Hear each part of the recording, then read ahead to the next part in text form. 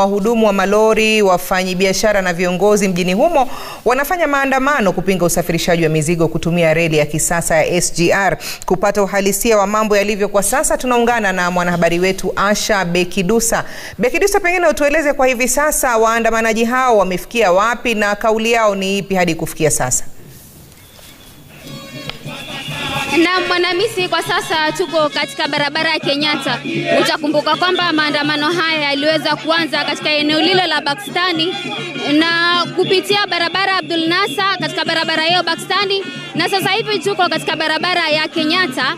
Uh, itakuwa tunapitia barabara ya Digo na hatimaye atakamilika katika barabara ya Moi ambapo wataweza kukita kambi katika eneo lile la bustani ya Uhuru. Bila shaka uh, waandamanaji hao kama unavyojua kwamba wanahusisha madereva malori ambao ni malori ya masafa marefu, wafanyabiashara mbalimbali wa bidhaa za kuuza uh, vifaa vya gari na vile vile kuna wafanyabiashara aina tofauti ambao kwa njia moja ama nyingine uh, wanahusiana na hali ya usafiri. Kumbuka kwamba wanalalamika tu kuhusiana na lile agizo, wanasema kwamba licha ya kwamba agizo lilo la kuweza wao kuruhusiwa kuweza kusafirisha ma, mizigo kwa malori hata hivyo bado hawajaweza kufanikiwa.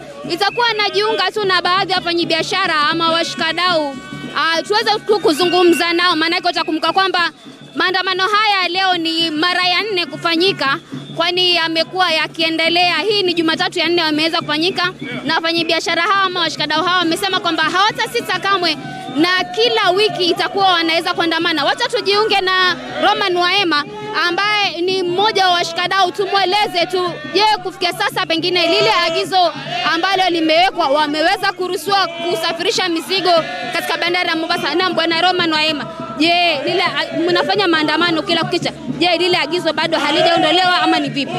Bado lile agizo halijaondolewa, bado lile agizo bado agizo halijaondolewa, agizo bado liko, na yale mambo ambayo yanaendelea sasa, hali imekuwa mbaya zaidi kushinda hata vile walivyokaa wakakubaliana katika mkutano. Ma, maana gari zinazoingia sasa ni zile za fertilizer peke yake na koi lakini hakuna gari zingine ambazo zinaingia ndani ya poti kusafirisha makontena isipokuwa zile za CFS peke yake. Kuka, je, mnasema kwamba mtafanya kila wiki. Je, wiki hii wiki ijayo mtakuwa mnaendelea na maandamano hayo hadi lini? Tutaendelea na maandamano haya hadi watakapoacha uvunjaji wa katiba, maana mambo yote haya yanaletwa na uvunjaji wa katiba.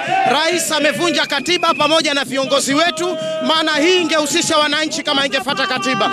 Kwa hiyo serikali wamejaribu kuwazungumzisha na majibu yake yamekuwa vipi? Hawajazungumza na sisi viongozi wa hapa Mombasa, bado hawajatuzungumzia. Na naona mlalamika wiki iliyopita kwamba hakuna viongozi ambao wanajumuika na nyinyi. Je, wiki hii ni vipi? Wiki hii viongozi watajumuika pamoja na sisi, maana japo wako pamoja na sisi hapa leo, lakini kileo kiroho wako pamoja na sisi, kwa hivyo watakuwa pamoja na sisi. Na shukrani sana. Wacha tuzungumze na washikadau wengine ambaye tunazungumza na Hussein Halid ambaye ni mkurugenzi wa shirika la Haki Afrika. Maandamano haya tunaona kwamba wiki iliyopita watu walitimuliwa. Je, leo ni vipi?